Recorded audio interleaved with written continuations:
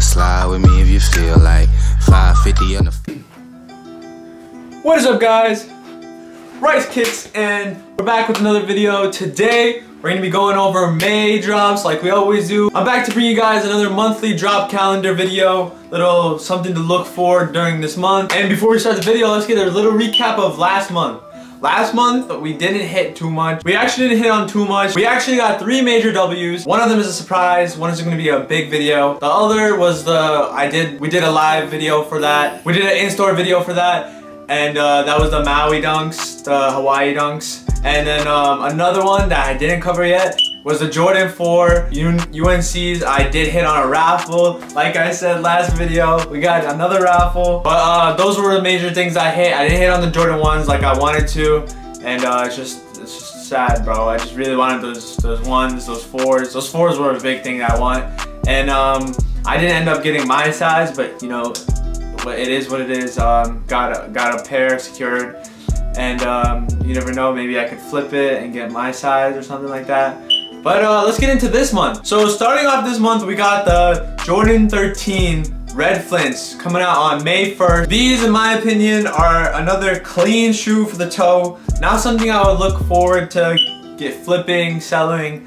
I would I would wear these. These are actually pretty nice. I might actually cop these for the toe. I do need a pair of 13s. Change it up a bit. But um, as we saw, the 13 Flints, the other Flints that dropped last summer, those went crazy. People went crazy for those. And that's when resellers actually started reselling. Like that's when people became resellers, including myself. But I never touched the Flints, the original Flints. These are the OG Gym Red colorway. Up next we got May 4th, the Jordan 1 Rust Shadow, aka the Patinas.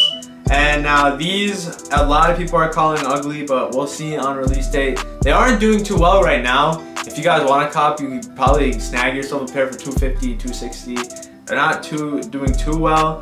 But then again, they are um, they are pretty nice. They're Jordan 1 at the end of the day. It's probably gonna be end up like the Volcos, those bricked. Um, honestly, these would be pretty nice as a calm, like everyday shoe. we didn't get, I know these came out on one website and people already have pairs, but uh, this is, again, it's supposed to be the Rust 2.0, but it's not really the Rust 2.0 and um, I'll tell you why. But the shoe is a little weird, so I don't know if I'm gonna like keep it or you know, because you know I do have the Jordan 1 collection that I'm starting off right, th right there in the corner as you guys can see. Up next on May 6th, we got the women's Jordan 11 Low Bright Citrus.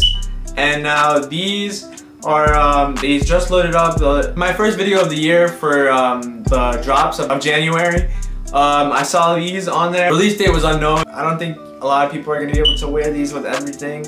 But again, it's 11 low. Not a lot of people like 11 lows and it's a women's. This dropping actually as a draw. I just saw right now. I'm confused why it's a draw. But uh, that's probably that probably means it's limited. But um, then again, it's also clean, clean shoe. I like the upper. The bottom is eh. And then um, up next we got May 7th, we got the Air Jordan 11 Low Legend Blues. Now these I actually covered last month, but they got delayed and um, they're back. I did get two pairs. One it was a uh, men's, one was GS. I got rid of those just because honestly, 11 lows I don't like. If it's a high, I'd keep, but um, I really don't like the 11 lows. And um, it's just it's just not me. Like I had the, I have the highs, the legend highs, but they're cooked, and um, I just didn't didn't need this this pair of I just actually didn't need these. And um, I did tell you guys if you guys wanted to check out on Instagram I probably would have flipped it to, or sold it to you guys. But uh, nobody hit me up and I got rid of them and uh, yeah uh, look forward to that. It's gonna be a calm calm release. Nothing uh, nothing too crazy. Up next we got May 8th with the Jordan 7 Flint. We haven't seen the Jordan 7 in a fat minute.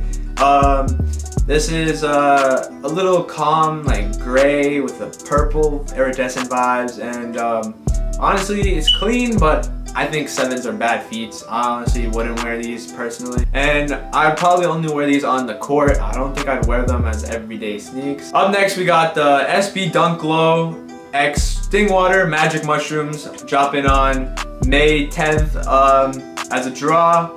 These, honestly, I'm kind of disappointed with these. These would have been so nice if the uppers were like a different color or at least leather or something. These kind of look wacky because the red colorway throws them off, but the soles are, oh my god, so nice, icy. These look perfect on a dunk, and um, I'm hoping to see these on uh, the soles on another colorway. Up next we got on May 12th, we got the Air Jordan 1 KO Chicago. Now these, honestly, a lot of people are saying they're ugly, a lot of people are saying they're nice, a lot of people saying they're mids. On um, my personal my personal opinion is I'm copying these. You're gonna be for the toe if I try, if I can. I've wanted the Chicago colorways like numerous times. I've almost bought the actual Chicago's like so many times.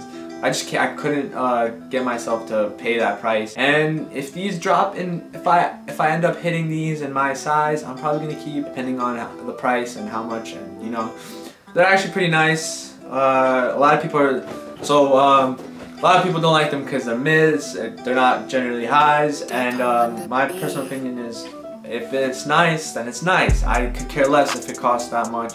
Um, although there are some shoes that, that uh, think my opinion on that, like the, Travis Scott stuff, like it's not generally because it costs a lot of money. It's just like some of them is nice, some of it's not. Uh, next we had the Jordan 1 Retro High OG Light Smoke Gray, aka the Shadow 2.0. Now these are unknown on when they're gonna come out, but the picture of these looks so nice, and uh, I know a lot of sneakerheads out there want the shadows.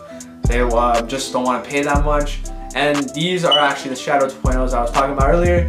Now these, um, we're actually not sure when they're gonna drop, but again, uh, these would be so nice to have in the collection because you know the Shadow 1.0 costs way too much, and you know I just can't, uh, I just can't pull the trigger on something that much, that much if it's just gonna be uh, on my wall or something. Up next, we got the Jordan 4 White Cements, aka Tech Gray.